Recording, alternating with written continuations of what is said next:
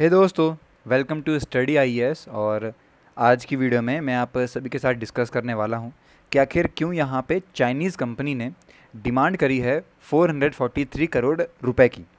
Okay आप कह सकते हैं हमारी जो, आप कह सकते हैं इंडियन रेलवे है, इसके साथ एक कॉन्ट्रैक्ट हुआ दोस्तों। उसी के तहत यहाँ पर आप कह सकते हैं चाइनीज़ कंपनी डिमांड कर रही है इतने करोड़ रुपये का भारत की रेलवे से। अभी कह सकते हैं आप लोग, चाइना ने इंडिया को ले गया है, आप कह सकते हैं इंटरनेशनल आर्बिट्रेशन के अंदर over a mega rupees four seventy one crore Indian railways contract पर लेके। जो कि आप कह सकते हैं, अभी जब स्टैंड ऑफ़ हुआ था हमारा बॉर्डर पे 2020 के अंदर, उसके बाद टर्मिनेट कर दिया था इसको। आप लोग को पता होगा यहाँ पे कि उस टाइम पे बॉयकॉट चाइना चल रहा था, काफ़ी उस टाइम पे ये न्यूज़ में रहा था, तब उस टाइम के ही दौरान इस डील को टर्मिनेट कर दिया गया था। आज की वीडियो में हम बात करने वाले हैं कि आखिर क्या डिस्प्यूट है। ओके, दोनों तरफ़ से क्या क्लेम करे जा रहे हैं, क्या ये कॉन्ट्रैक्ट इंपॉर्टेंट था चाइनीज़ के लिए तो ये सारी बातें हम लोग देखेंगे अपनी आज की इस वीडियो के अंदर। चलिए दोस्तों, अब बढ़ते हैं और डिस्कस करते हैं कि आखिर क्यों यहाँ पे चाइनीज़ कंपनी डिमांड कर रही है इतने सारे रुपए। अब देखिए, कुछ भी स्टार्ट करूँ, उससे पहले बता दूँ आप लोग को कि अन अकेडमी की परफॉर्मेंस पिछले दो सालों से हमें बेहतरीन देखने को मिलती है। जो टॉपर्स हैं दोस्तों, ये हमें अन अकेडमी से बिलोंग होते हुए दिखाई देते हैं। इकतीस अगस्त तक आप लोग के लिए एक्सटेंशन कर दिया गया है नोट्स वगैरह का तो आप लोग अवेल कर सकते हैं ऑफ़र को। और आज के दिन सुबह ग्यारह बजे आपको देखने को मिलेगा आपका यू पी एस का जी एस कॉम्बेक्ट जहाँ पर आप लोग जाके खुद को एनरोल कर सकते हैं। और दोस्तों, आज के दिन ही आप लोग के लिए फ्री में ऑफलाइन आप कह सकते हैं स्ट्रेटेजी सेशन है टॉप एजुकेटर्स के द्वारा। ओके जो कि आपको इस एड्रेस दिल्ली में देखने को मिल रहा है स्कैन कीजिए और एनरोल कीजिए खुद को। ज़ीरो परसेंट की ई भी अवेलेबल है तो आप लोग इसका बेनिफिट भी ले सकते हैं। डायरेक्ट आपको फ़ायदा होगा आपके कोर्स परचेज करते वक्त। तो देखिए दोस्तों, बता दूँ कि जिस तरीके से अभी इंडिया और चाइना धीरे धीरे अपनी जो पॉलिटिकल टाइज़ हैं, इनको ठीक कर रहे थे। लेकिन दोस्तों, उस टाइम पे दिक्कत आ गई जब आपका बॉर्डर स्टैंड अप हुआ लद्दाख के अंदर। और उस टाइम पे ही आप कह सकते हैं, हमारा यहाँ पे आप कह सकते हैं रेलवे के साथ एक कॉन्टैक्ट होता है चाइना का, जहाँ पे बात होती है 471 करोड़ रुपीज़ की। लेकिन दोस्तों, जैसे ये स्टैंड ऑफ़ होता है, जैसे ये क्राइसिस आता है, इसके बाद हमने आप कह सकते हैं समर में ही 2020 में इस पूरी डील को कैंसिल कर दिया टर्मिनेट कर दिया। मतलब कि ऐसी कोई भी हम संबंध नहीं रखना चाहते थे चाइना से, इसलिए हमने उन चीज़ों को कैंसिल कर दिया। जून में दोस्तों, उसी साल इंडिया ने कैंसिल करा था कॉन्ट्रैक्ट पूरे तरीके से to the C R S C research and design institute group जो कि कंपनी है कंट्रोल बाय चाइनीज़ गवर्नमेंट और ये दोस्तों यहाँ पे इंस्टॉल करती है सिग्नल और टेलीकॉम्स सिस्टम को। आप कह सकते हैं फोर सेवनटीन किलोमीटर के स्ट्रेच में जो कि आपका कानपुर से लेके आप कह सकते हैं दीनदयाल उपाध्याय जंक्शन तक था। तो आप कह सकते हैं पूरा जो उस टाइम का जो भी सिग्नल और टेलीकम्युनिकेशन होने वाला था दोस्तों, उसकी जो पूरी फिटिंग वगैरह थी, ये आपकी चाइनीज़ कंपनी लगाने वाली थी। लेकिन फिर डील को कैंसिल कर दिया गया। इसके बाद दोस्तों बता दूँ कि चाइना ने हमें मतलब इंडिया को इंटरनेशनल आर्बिट्रेशन के अंदर लेके आता है वो, जो कि आप कह सकते हैं इंटरनेशनल चैम्बर ऑफ़ कॉमर्स है सिंगापुर में वहाँ पे। और क्लेम करता है कुछ चीज़ों को, जैसे कि dedicated freight corridor corporation of India को लेके कि उन्होंने जो पैसा था पोर्शन था उनके काम का वो नहीं दिया है।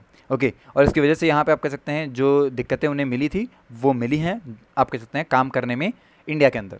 ये सारी बातें हैं, जब जाके आप कह सकते हैं ये चीज़ें न्यूज़ में आई, क्योंकि इंटरनेशनली यहाँ पे आप कह सकते हैं केस कर दिया आप शॉर्ट भाषा में इतना समझिए कि इंटरनेशनली केस कर दिया चाइना ने इंडिया पे।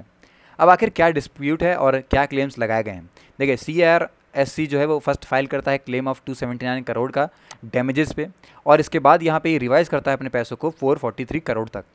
साथ ही दोस्तों, मैं बता दूँ आप लोग को कि इसके बाद आप कह सकते हैं, जो बैंक है उसकी गारंटी को भी रिटर्न कराया गया which D F C C I L ने यहाँ पे फोर फिटेड करा। और बैंक गारंटी दोस्तों एक ऐसा डिपॉजिट होता है, जो कि कॉन्ट्रैक्टर को डालना पड़ता है, आप कह सकते हैं प्री कंडीशन जिससे कि वो सिक्योर कर सके अपने कॉन्ट्रैक्ट को। मतलब कि इस तरीके से आप मान लीजिए कि आपने किसी के साथ कॉन्ट्रैक्ट करता है तो आपने जो पैसा उनसे लिया, वो डाल दिया बैंक में, एक एज अ गारंटी कि पूरा जो कॉन्ट्रैक्ट है उसे कंप्लीट होने पर आपको पैसा मिल जाएगा। तो ये चीज़ें हमें पता लगती हैं। पर दोस्तों क्लेम लगाया ये गया है कि इसके अंदर जो इंटरेस्ट लगा है अलग अलग आप कह सकते हैं फोर फीटेड अमाउंट्स पे क्लेम्स ये भी लगाया गया कि काफ़ी सारे यहाँ पे जो फोरेट्स हैं, जो कॉन्ट्रेक्चुअल डिप्लॉयमेंट है, उनको लेके भी दिक्कतें आई हैं। इसके रिस्पॉन्स में दोस्तों इंडियन साइड की तरफ़ से यहाँ पे फ़ाइल करा गया एक काउंटर क्लेम ऑफ़ 234 करोड़ का, जिसे यहाँ पे रिवाइज कर दिया गया था। मतलब पहले लगाया गया था 71 करोड़ ने, भारत ने लगाया था उन पर पैसा, और फिर उसके बाद अब उसको बढ़ा के 234 करोड़ कर दिया है। बेसिकली दोस्तों, मैं बता दूँ कि जो डीएफ CCIL का जो क्लेम है वो ये है कि जो रिकवरी हुई है अपने मोबाइलाइजेशन को एडवांस करने में रिटेंशन मनी पे और जो बैलेंस आ जाता है टर्मिनेशन को लेके, उसको लेके बात करी गई है। अपार्ट फ्रॉम दोस्तों जो रेगुलेशंस लाया गया है, वो फोर फीचर हमें देखने को मिलता है बैंक की गारंटी पे। अगर चाइनीज़ साइड की बात करें तो इन्होंने यहाँ पे जब टर्मिनेट होता है कॉन्ट्रैक्ट तो बताया उसको इलीगल इन आप कह सकते हैं as much as D F C C I L ने कंपाइल नहीं करा था अपना प्रोसीजर कि वो कुछ ऐसी चीज़ें मतलब ऐसे सर्कमस्टांसिस के अंदर कॉन्ट्रैक्ट को कैंसिल कर देगी तो ये चीज़ पहले नहीं बताई गई थी। और इसके साथ साथ दोस्तों, एक आप कह सकते हैं ट्राइब्यूनल है under the ICC rules as per the terms of contract has been constituted तो जो ट्राइब्यूनल है उसे कॉल किया जाएगा फॉर वेरियस सबमिशन जहाँ पर आप कह सकते हैं अलग अलग प्रोसेस को प्रिपेयर किया जाएगा बाय दी पार्टीज़ और इसके तहत आपको बता दूँ कि यहीं आप कह सकते इतनी बड़ी वजह रही, जिस वजह से जो चाइना है, इसने आप कह सकते हैं केस कर दिया। मतलब कि आप एक तरीके से मान सकते हैं कि चाइना प्रिपेयर होगा कि उसको इतना बड़ा अमाउंट मिलने वाला है, उसने तैयारी वगैरह कर भी ली। लेकिन बात ऐसी आई कि हमने जब टर्मिनेट कर दिया तो उसका नुकसान हो गया तो उन्हीं चीज़ों को वो कंप्लेन कर रहा है। अब कितना ज़्यादा ज़रूरी रहा ये चाइनीज़ के लिए ये जो कॉन्ट्रैक्ट है पूरा? देखिए चाइना के लिए दोस्तों ये काफ़ी ज़्यादा सिग्निफिकेंट है मल्टीपल आप कह सकते हैं फैक्टर्स में। पहला ये हो गया कि चाइना जो है वो बिगेस्ट कॉन्ट्रैक्टर है रियल सेक्टर में और वो उसके लिए बहुत क्रूशियल है। सिक्योरिटी सेंसिटिव है और सिग्नल और टेलीकम्युनिकेशन वर्क जो है वो भारत में करते हुए आ रहा है 2016 से और उस टाइम पे ही जीता था। फिर उसके बाद दोस्तों जो यहाँ पे टो होल्ड आता है डेडिकेटेड फ्रीट कॉरिडोर प्रोजेक्ट को लेके, जो कि एक पूरी तरीके से वेस्टर्न आर्म है, उसको फाइनेंस किया जाएगा through Japanese financial and technical assistant के साथ। तो इंडिया यहाँ पे एक्सपेंड करता है अपने डेडिकेटेड फ्राइट्स कॉरिडोर्स को, जिससे कि जो ये काम है दोस्तों ये बहुत ज़्यादा एडवांटेज रहता है। अगर आगे फ्यूचर में कोई ऐसा काम होता है भारत के अंदर तो भारत चाइना को ही चुनता। मतलब कि एक तरीके से लॉन्ग टर्म प्लानिंग से जो चाइना है, वो भारत को बाँध लेता अपने अंदर। टर्मिनेशन जब होता है दोस्तों कॉन्टैक्ट का by India as the two armies faced off line of actual control तब उस टाइम पे इन चीज़ों को आप कह सकते टर्मिनेट कर दिया कर दिया गया था। उस टाइम पे बॉयकॉट चाइना वाला बहुत ज़्यादा हैशटैग चला था। तब उसी टाइम पे आप कह सकते हैं इस चीज़ को भी आप कह सकते हैं टर्मिनेट कर दिया गया, इस पूरे कॉन्टैक्ट को हटा दिया गया।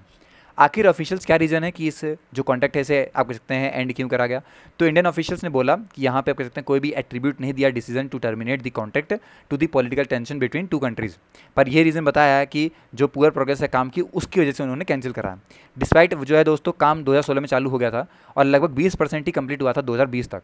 और यहाँ पर आप कह सकते हैं कोई भी जो मिस्ड टारगेट्स है, इसे मैंशन नहीं करा गया था। साथ ही दोस्तों आपको मैं बता दूँ कि जो पोस्ट मोटम आती परफॉर्मेंस है, उसको भी यहाँ पे ग्लेयर फैक्ट्स पे रखा गया। और चाइनीज़ जाइंट ने ये बोला कि वो अनेबल है कि मोबालाइज कर सकें अपने एडिक्वेट रिसोर्सेज को।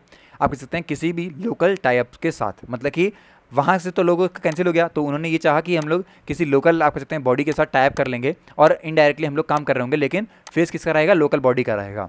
लेकिन ऐसा भी नहीं हुआ। इसके बाद दोस्तों, जब यहाँ पे D F D F C C I L ने ऑफिशियली विज़िट करा प्रोजेक्ट की साइट को, तब उन्होंने यहाँ पे ऑफ़ गार्ड पाया इंजीनियर्स को ऑथराइज पर्सनल्स को पाया गया कि वो एबसेंट हैं ओकेजन्स पर भी। और यहाँ पे जो मटेरियल यूज़ किया जाता था, वो भी काफ़ी स्लगिश था। तो ये सारे रीज़न बताए हैं उन्होंने कि वो लोग सही तरीके से काम नहीं कर रहे थे, इसलिए हमने जो कैंसिल कर दिया अपना, जो डीलिंग थी उनके साथ, वो पूरी टर्मिनेट कर दी। ये सब पता लगा हमें। दूसरा दोस्तों, अब अगर ऐसा होता है तो क्या होता है चाइनीज़ के इसके बाद करने से? देखिए कॉन्ट्रैक्ट दोस्तों यहाँ पे रीटेंडर्ड हुआ और इंडियन कंजोर्टियम ने यहाँ पे जो साइमंस है, उनको दिया ये काम for rupees four ninety four crore से। और अब तक दोस्तों बता दूँ, मैं फोर्टी एट परसेंट काम कंप्लीट हो चुका है। तो ये काफ़ी बढ़िया बात है कि दो हज़ार बीस से अब तक दो साल के अंदर यहाँ पे फोर्टी एट परसेंट काम प्रोग्रेस में लेकिन वहीं जब चाइना को दिया था तो मात्र ट्वेंटी परसेंट काम हो पाया था। दो हज़ार सोलह से दो हज़ार बीस तक चार साल के अंदर मात्र ट्वेंटी परसेंट हो पाया। लेकिन वहीं जब साइमंस को दिया गया दोस्तों तो उन्होंने फोर्टी एट परसेंट दो साल के अंदर करके दे दिया। तो ये काफ़ी अच्छी बात है कि हमारी जो प्रोग्रेस है वो काफ़ी सही चल रही है, इसलिए हम लोग अब इसके साथ कंटिन्यू रह रहे हैं।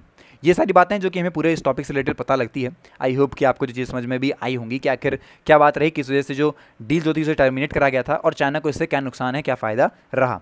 अगर अब भी कोई आपका डाउट रह गया दोस्तों तो उसको क्लियर कर लीजिएगा। कमेंट सेक्शन में पूछ के मिलते हैं नेक्स्ट वीडियो में, तब तक के लिए have nice day and take care